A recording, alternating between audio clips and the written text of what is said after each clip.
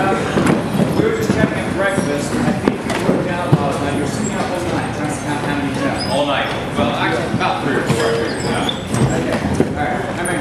Uh, this is my 130th uh, chapel as a, as a speaker.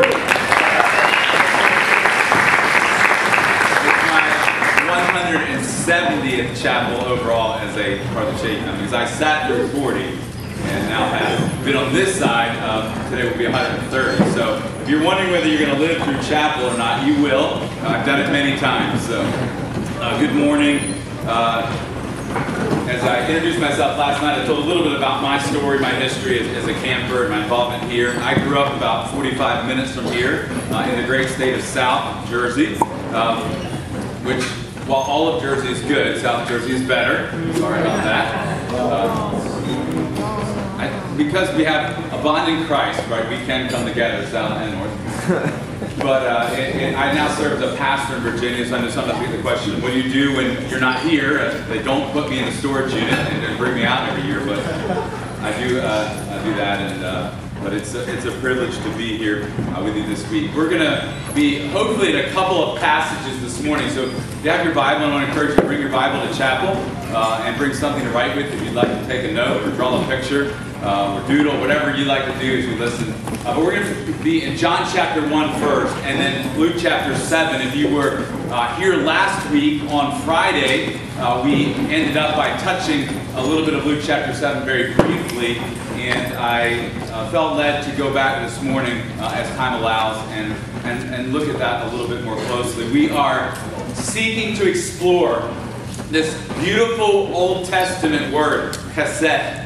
This word that is undefinable by any one mere word is why uh, in its translation that not only will you find different words used for it, not only was a word invented, loving kindness, to try to uh, capture it, but you'll also see other words that are drawn to it. It's almost as though this word has its own gravitational pull because it needs other words to come around it to help us see it, to help us understand it. Last week we, we explored and I, I, that, that chesed is something that even when we, when we use these different words to help us understand it, it's not something that we can fully just understand by words. It's one of the reasons why music is so important and so powerful. Because music is a language that helps us to convey or understand things in a deeper and richer way. And throughout the Old Testament, right, chesed is almost always something that is sung about or put to music. Not only that, but we see that it's something that is not just something that we are to know about or even just to experience, but it's going to be something that we are to do.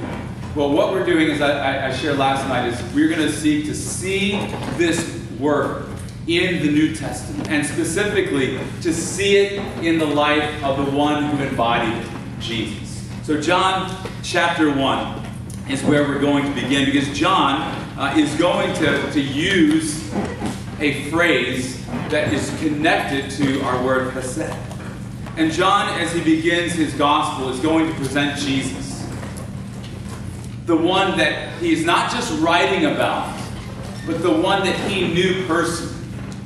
Remember, John is one who had the privilege of being invited to be one of Jesus' closest followers. Jesus had many followers, but he invited 12 to be his closest disciples, the ones that he allowed to be with him in all, in all circumstances, to see him, to know him, to hear him. And John had an up front view of Jesus. Not only that, and we'll get to this in a little bit, but John got to see Jesus in some extraordinary ways that very few other people ever did. And John wrote his gospel, right, his account of Jesus' life, because he wanted you and me and all who would read his gospel to know what he knew and to experience and to have what he had. When you have something, when you experience something that's utterly amazing, this life transforming, that's eternity altering, you want others to know. And John is very explicit about that, that he wrote his gospel. Right? He wrote his gospel account of Jesus' life so that people would be able to see Jesus for who he was. That they might not just see him, but they might believe. That they might come to faith in Jesus as their Savior. And that by believing, they might have life in his name. So, John chapter 1, and as we come to John chapter 1, I want to invite you or ask you to do something this morning. I want you to use your imagination for a moment. How many of you would say I have a really, really, really well developed imagination? Mm. All right, some of you. How many of you would say I have a- an okay imagination? All right, that's good. How many of you would say I have none, no imagination at all? Anybody? Couple. There's always a few, and we're all, listen, we're all shaped and wired different. But I want you to take your, I have what might be described as an overactive imagination. I want you to imagine Jesus as you might picture it. I want to imagine you sitting across the table or next to him at a coffee shop. And I want you to think about how do you see Jesus looking at you? How would Jesus look at you? And what would he say to I want you to, to think about that for a moment, and we're going to weave that thought throughout the week. But in John chapter 1, beginning in verse 1, down through verse 3, it says, In the beginning was the Word, and the Word was with God, and the Word was God. He was with God in the beginning, and all things were created through him, and apart from him was not one not one thing that was created. Let me let me pause there. Apart from him, not one thing was created that he has that has been created. And so John begins his gospel with a very, very familiar phrase. In fact, you might say, I've heard this phrase before. Where did you hear that phrase that he begins with? Where did you hear that before? Where did you read that? Somebody help me out. Yes. In the beginning. In the beginning. And where did you read that phrase? Uh, What book of the Bible? Genesis, the very first book of the Bible. The Bible's very first words, in the beginning, right? And John very intentionally starts his gospel there.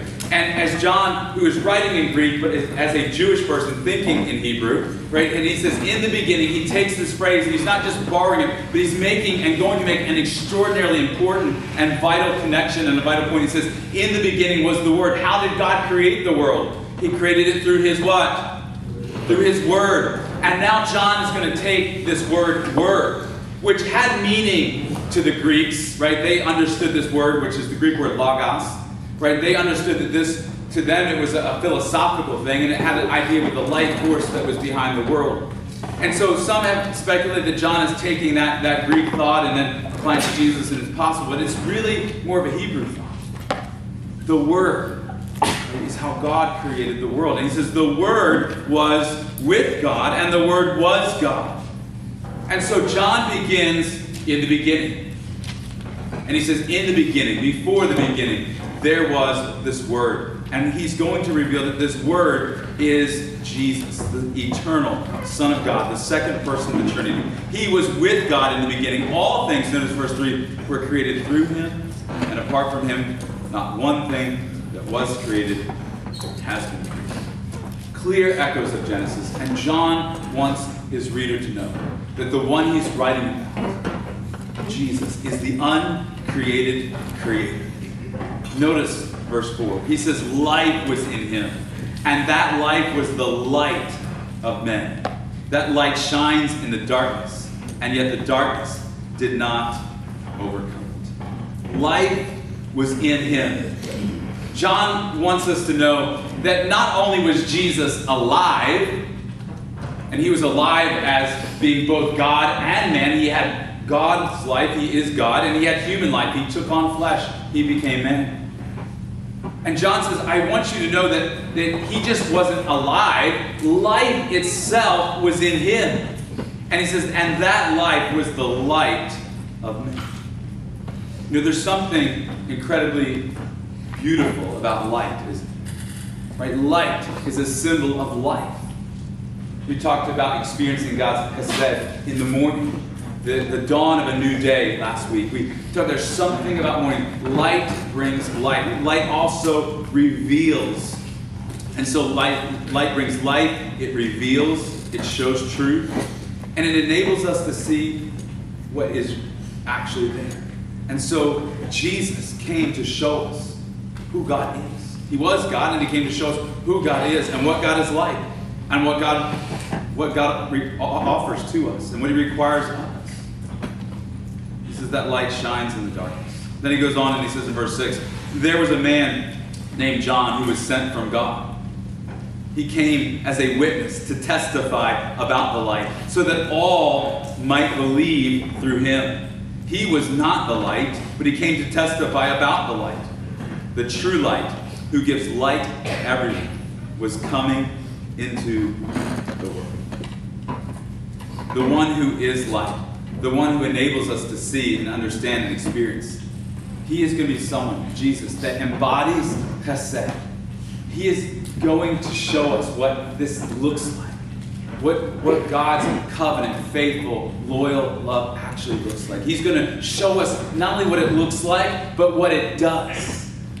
And He's going to call us not only to understand it and see it and receive it and experience, but to live it out in our lives so that we can be transformed. Look at verse 10. It says, He was in the world, and the world was created through Him yet the world did not recognize him. He came to his own, and his own people did not receive him.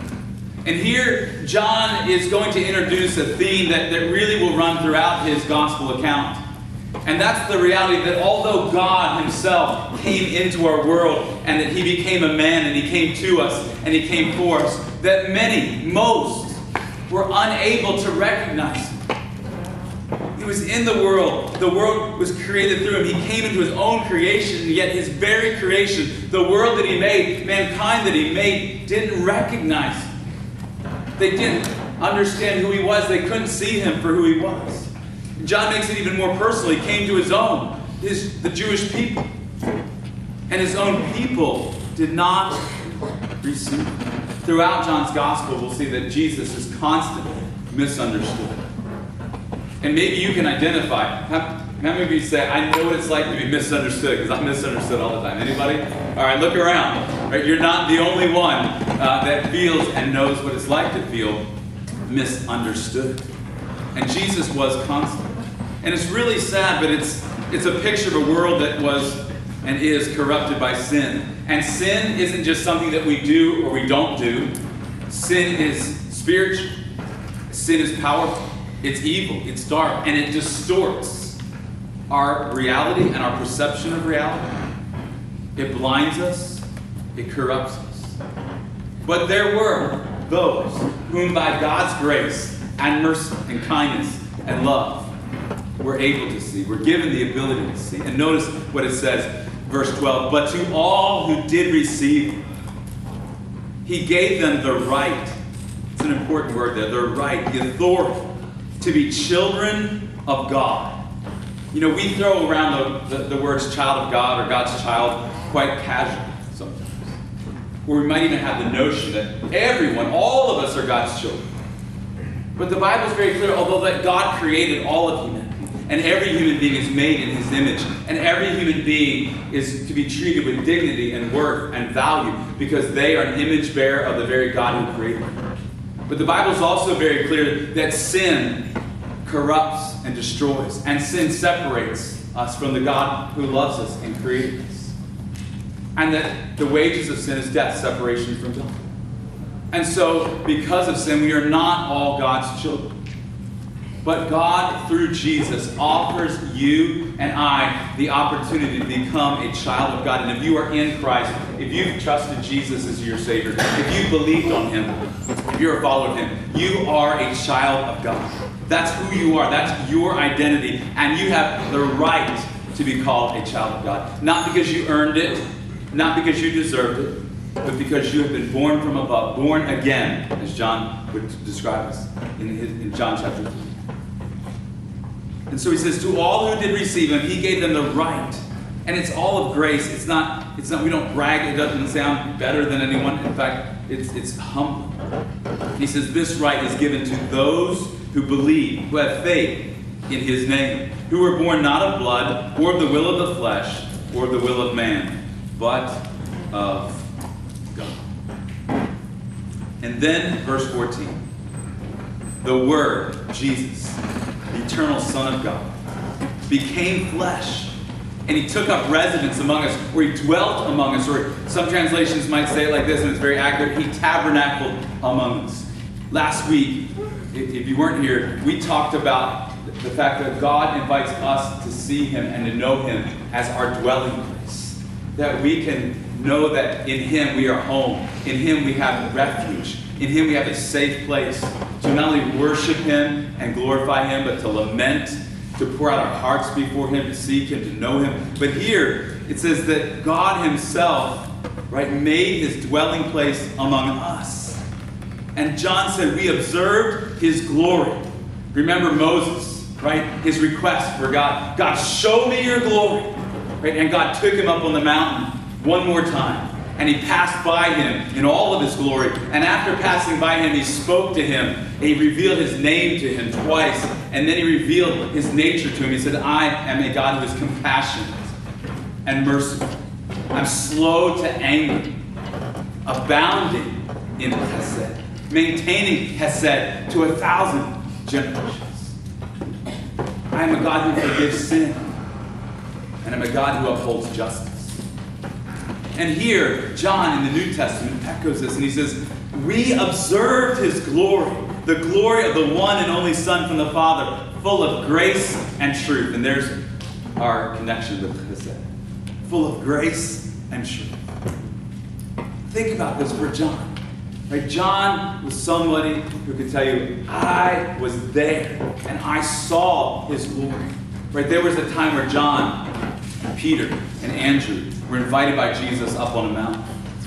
And there Jesus transfigured himself. He, he, his appearance changed from that of just a natural man and to some of his glory.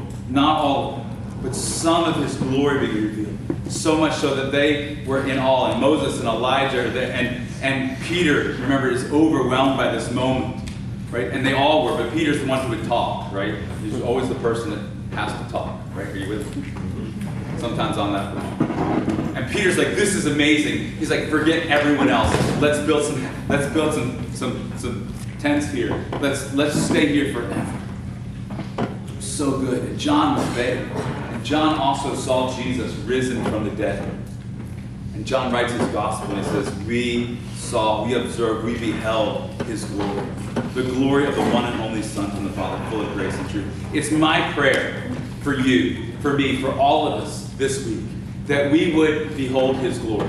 That we would see God for who he is. That you would understand Jesus for who he is. And many of you, you already know him as your Savior. It's my prayer that, that you would go deeper in your understanding of who he is, deeper in your understanding of his love for you, deeper in his understanding of his purpose for your life, deeper in his understanding of what God is calling you to do. That's what God did for me when I was some of you may not be a follower of Jesus. You may not be saved. This might be strange sounding, or you've heard it all, but you don't believe my prayer for you that this that you would see God for who that you would understand Jesus, that He really is the eternal God, the uncreated Creator. He really did enter His creation.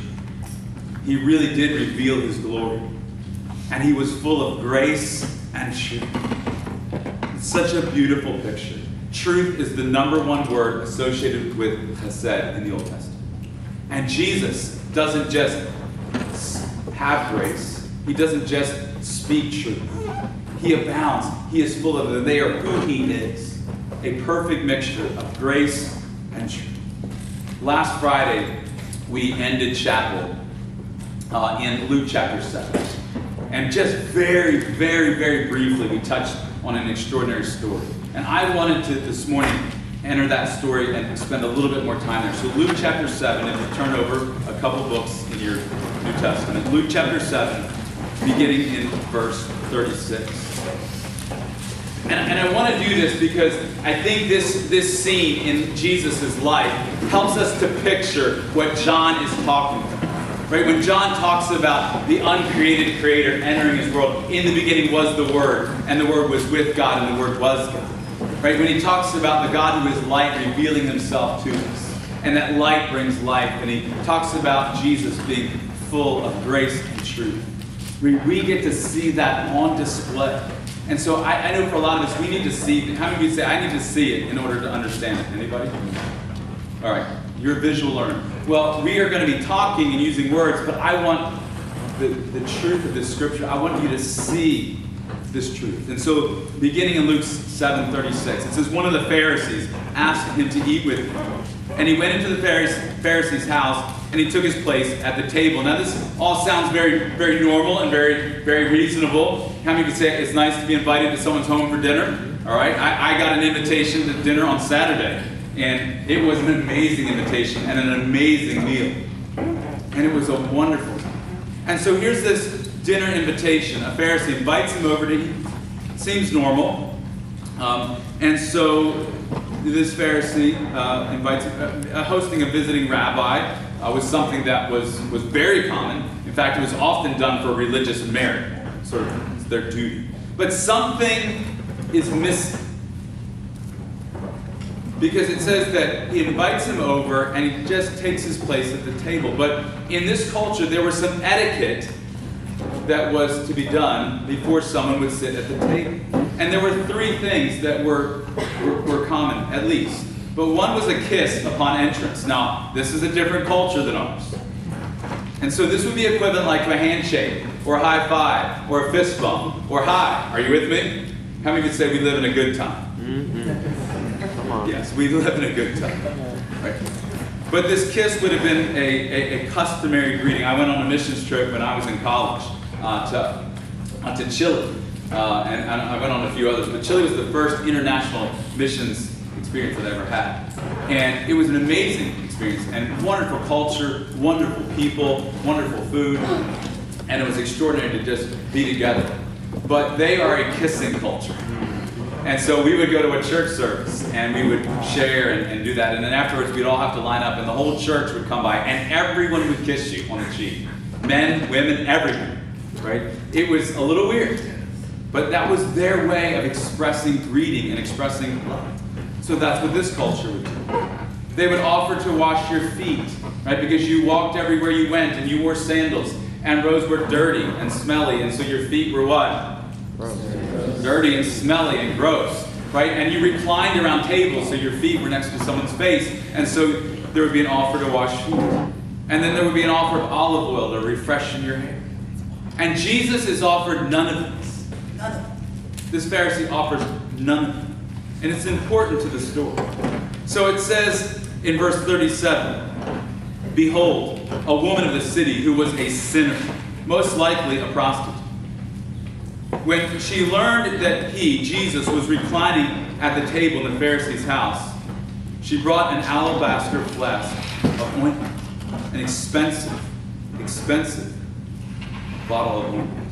Now, we're going to encounter this story, and it's, it's going to get kind of weird, and it's going to feel awkward. And maybe you can identify. You say, I, I, I've been in a situation where I felt really awkward. Anybody? All right. Maybe your first experience, the first time you came to Csehy, you thought, this feels really awkward. Anybody say it was a little awkward when you first got here? All right. Yes. A lot of us, right? Because it's a it's a unique, strange place. Most of us hopefully all of you will come to find out that this unique, strange place is incredible. It's why a lot of you keep coming back, because you realize after a while, it was a little awkward at first, but it's amazing. In fact, I've often described Csehy as heaven on earth with cafeteria. All right? the awkward scene. This woman comes in, and that would have been awkward to begin with, because probably everybody there knew who she was, or knew of her, and they knew what she used to do. And she walks in, and it says in verse 30, and standing behind him at his feet, she was weeping, and she began to wet his feet with her tears. And she wipes them with the hair of her head, and kissed his feet, and anointed them with ointment. Can you imagine being at this dinner, these men reclined around the table, chit chatting about theology, about the weather, and all of a sudden, this woman comes in, and everybody's like, What is she doing here? This is weird. And she walks over to Jesus and thinks, This is weird. And she begins to weep, just tears flowing. And we'll discover why in just a few moments. And as her tears begin to, to literally drench his feet, she notices it, and so she kneels down and she begins to wipe them with her hair. She kisses his feet and anoints them with ointment. Why? Because she has heard the message of Jesus. She's heard the words of Jesus. And she's never heard anyone talk like Jesus is talking. She's never had anyone speak to her the way Jesus speaks. Jesus speaks with words of compassion. Jesus speaks with words of grace. He speaks of words of patience and of mercy, of covenant love, of hesed. And she knew that there was a deep emptiness in her soul. She knew she was lost. She knew she was a sinful person. She was broken and miserable. And she believed that this Rabbi Jesus had something that she needed, had something that he could offer her that no one else had ever offered her. And so she comes to Jesus, weeping at his feet, looking down and washing his feet with her tears and then wiping them with her hair. And all of this to the men, this is scandalous. Right? To just, just this display of behavior in public, what is so culturally inappropriate. And so the Pharisees are looking around and they're waiting. What is Jesus going to do? What's he going to say? The tension was thick, right? It is a very tense moment. She pours out this perfume on his feet. And it says in verse 39 Now, when the Pharisee who had invited him saw this, he said to himself, He's thinking, not out loud, he's thinking, he said to himself, If this man were a prophet, he would have known who, who this is and what sort of woman this is who's touching him, for she is a sinner. Right? He's thinking in his mind, Jesus claims to be a rabbi, he claims to be a man from God. And he's allowing this sinful woman to touch him. All he saw was a sinful woman. In his mind, he had categories of who deserved God's grace and who didn't deserve God's grace, who had earned it and who hadn't. This woman didn't deserve it and hadn't earned it. And I imagine he's thinking, Jesus needs to tell her the truth. Jesus, perceiving the situation, knowing what he's thinking. You know, sometimes we think we know what someone's thinking. Are you with me? All of you have assumed, I know what they're thinking. How many of you have ever been wrong? Yes. Right? So we need to be really careful when we think, I know what they're thinking. But Jesus is fully God and fully man. He knows what this man, his name's Simon, he knows what he's thinking. Jesus has a, a real clear advantage in the situation. He said in verse 40, he said, Simon, I have something to say to you. I imagine he's like, you, You've got something to say to me? What about her? And so he says, Say it, teacher. And then Jesus shares a quick story about two debtors. One owed 500 denarii and the other 50. Jesus says this, both of their debts were forgiven by this man. And he said, well, who will love him more? And Simon answered, the one. He goes, I suppose. Well, you ever have to, ever have to like give an answer you didn't want to give? The one I suppose for whom he canceled the larger debt. And Jesus says, you have judged right. You have judged right? Then verse 44. Then turning to the woman, he said to Simon. So picture, are you, are your, is your imagination alive and awake? Mm-hmm. Jesus is speaking. He's he turns towards the woman. He looks at her, but he's speaking to Simon. And he said, Do you see this woman? And I think Simon's like, Oh, yes, Jesus, we all see her.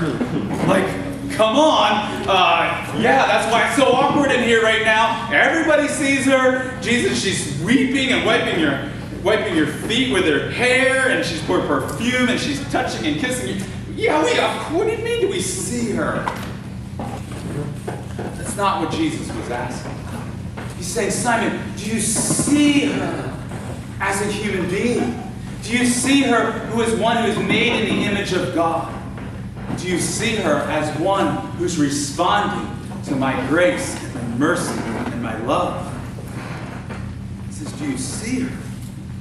I entered your house and you gave me no water for my feet, an intentional snub. But she has wet my feet with her tears and wiped them with her hair. You gave me no kiss, but from the time I came in, she has not ceased to kiss my feet. You did not anoint my head with oil, but she has anointed my feet with ointment. Therefore, I tell you, her sins, which are many, are forgiven, for she loved much. But he was forgiven little, loves little. And in this story, we can see Jesus' compassion. We can see his mercy.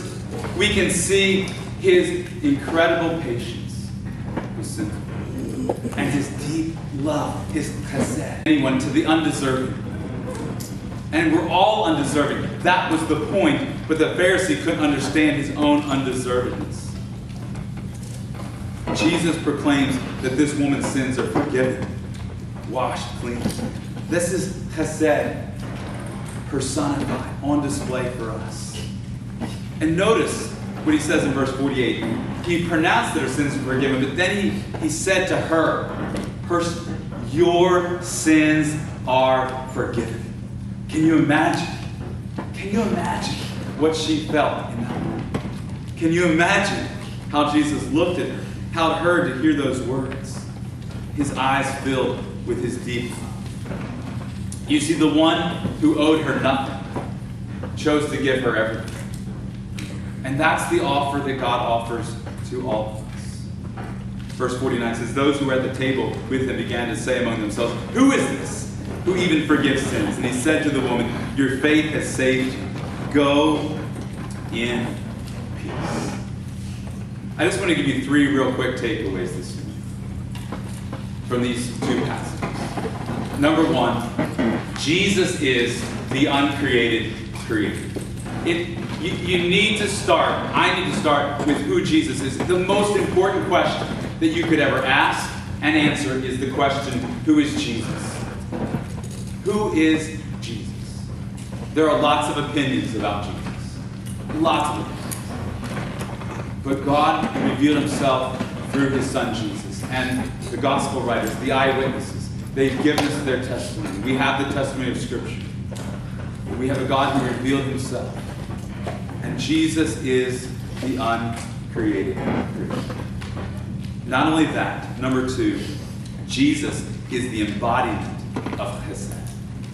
He is the embodiment of Hesed. He is Hesed personified. It is who He is. He came from the Father full of grace and truth. And He shows us what it looks like. And then number three, Jesus offers his chesed to you.